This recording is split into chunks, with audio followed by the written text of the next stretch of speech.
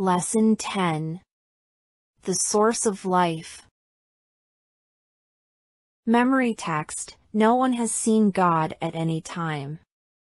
The only begotten Son, who is in the bosom of the Father, he has declared him. John 1 verse 18 The Gospel of John is structured into four key parts. The Prologue the Book of Signs, the Book of Glory, and the Epilogue.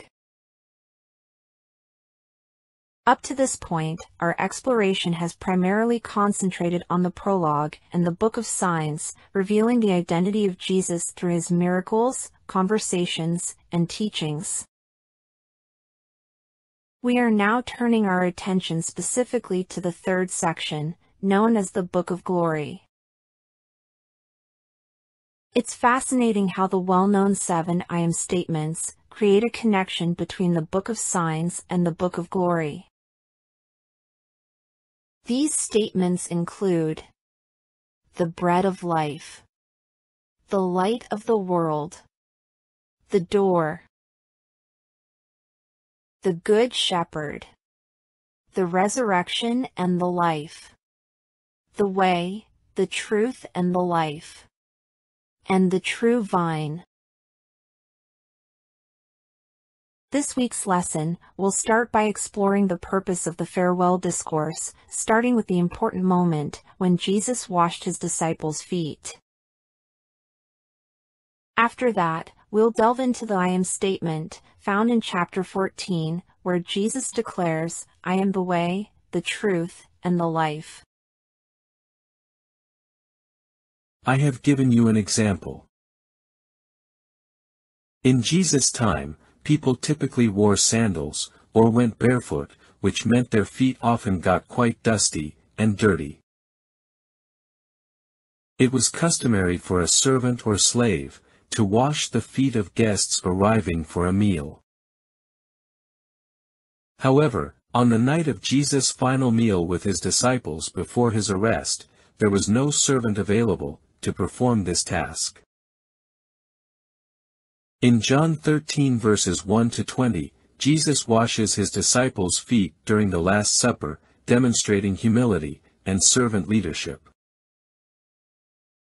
Despite being their Lord, he performs a task reserved for the lowliest servant, teaching that true greatness lies in serving others. He tells his disciples to follow his example of love and humility. This act also symbolizes spiritual cleansing through his sacrifice on the cross and emphasizes the importance of unity, love, and selfless service among his followers. It is a profound lesson on the nature of discipleship and Christ-like living. Peter's response in John 13 verses 6 to 9, reveals both his reverence for Jesus, and his struggle to understand.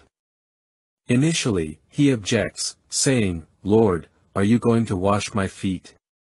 He cannot accept his master, performing such a lowly task. When Jesus explains, Unless I wash you, you have no part with me, Peter overcorrects, asking Jesus to wash not just his feet, but his hands and head as well. This exchange highlights Peter's passion, but also his misunderstanding. Jesus teaches that spiritual cleansing is essential, and must be accepted humbly. Peter's response reminds us of the need to trust Jesus' ways, even when they challenge our expectations. I will certainly come again. John 14 verses 1 to 3 do not let your hearts be troubled. You believe in God, believe also in me. My Father's house has many rooms. If that were not so, would I have told you that I am going there to prepare a place for you? And if I go and prepare a place for you, I will come back and take you to be with me that you also may be where I am. These words were spoken by Jesus, during the Last Supper, shortly before his arrest and crucifixion. The disciples were troubled because Jesus had just told them that he would be leaving them soon and that Peter, one of their most devoted followers, would deny him three times. This revelation likely left the disciples feeling confused, anxious, and uncertain about the future. In this moment, Jesus sought to comfort his disciples and strengthen their faith. He reassured them that, despite his imminent departure, they should trust in him and in God. Jesus explained that his departure was purposeful. He was going to prepare a place for them in his Father's house. Furthermore, he promised to return and take them to be with him, offering hope of eternal fellowship with him.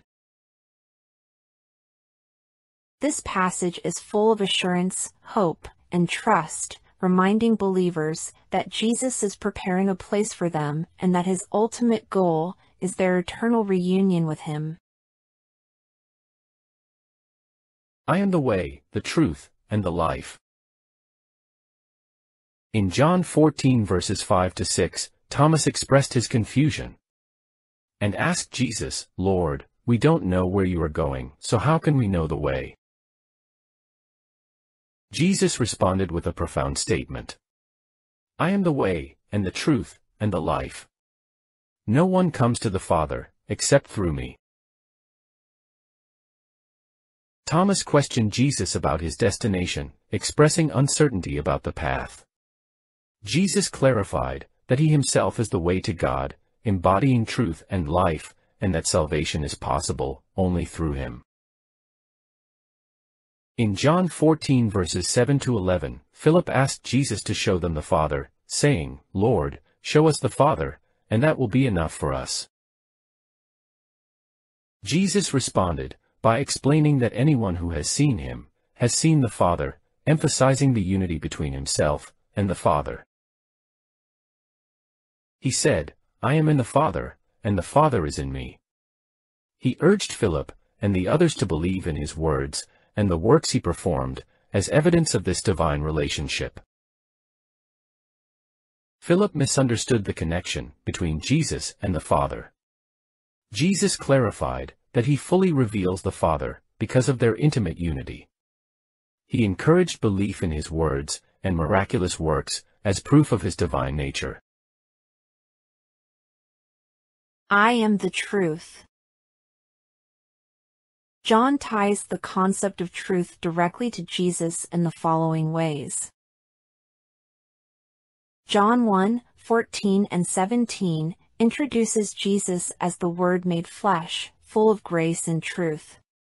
This highlights that truth is a defining characteristic of Jesus' nature. Verse 17 contrasts the law given through Moses with grace and truth that come through Jesus Christ, establishing him as the ultimate source and embodiment of divine truth, surpassing the law. In John 8 verse 32, Jesus tells his followers, You will know the truth, and the truth will set you free. Here, truth is not merely an abstract concept, but is tied to the person of Jesus, who frees people from sin and spiritual bondage. Knowing him as the truth leads to genuine freedom. John 14 verse 6 has Jesus directly identifying himself with truth, saying, I am the way, the truth, and the life. This statement emphasizes that Jesus is not just a bearer of truth, but the ultimate reality and source of truth, guiding humanity to God. John 15 verse 26 has the promise of Jesus to send the Spirit of truth from the Father to testify about him. This shows that truth is a central aspect of Jesus' mission and identity, continuing through the work of the Holy Spirit, who reveals and glorifies Jesus as the truth.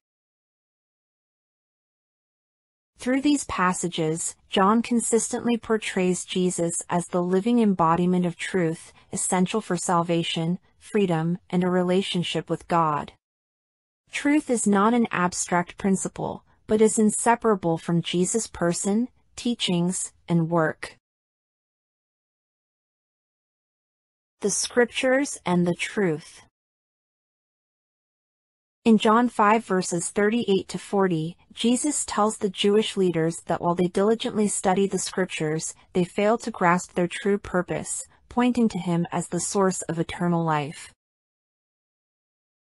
They seek life in the text itself, but refuse to come to Jesus, the one the scriptures testify about. Jesus emphasizes that Scripture's ultimate goal is to lead people to faith in Him, not just knowledge or legalistic adherence. Jesus' words remind us that the Bible is not just a book of rules or information, but a revelation of God and His plan of salvation through Jesus Christ. A relationship with Jesus, rooted in faith, is essential to experiencing the life God offers. Without recognizing the scriptures as a means to that relationship, one can miss their true purpose. Elsewhere in Luke 24 verse 27, Jesus pointed to the scriptures to reveal the significance of his ministry. Because the scriptures served as the foundation of God's revealed truth. By showing how the law and the prophets pointed to him, Jesus affirmed the reliability and authority of the scriptures while unveiling their deeper meaning.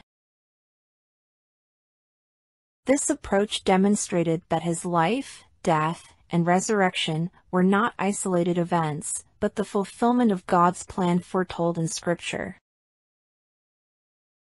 It was important for his listeners, especially the disciples, to understand that faith in him was rooted in God's promises, giving their belief both scriptural and spiritual grounding. This connection deepened their understanding, strengthened their faith, and prepared them to proclaim the gospel to others. Luke 24 verse 27 and beginning at Moses and all the prophets, he expounded to them, in all the scriptures, the things concerning himself. Thank you for studying with us. We hope you give this video a like, and please subscribe. And always, keep the faith of Jesus.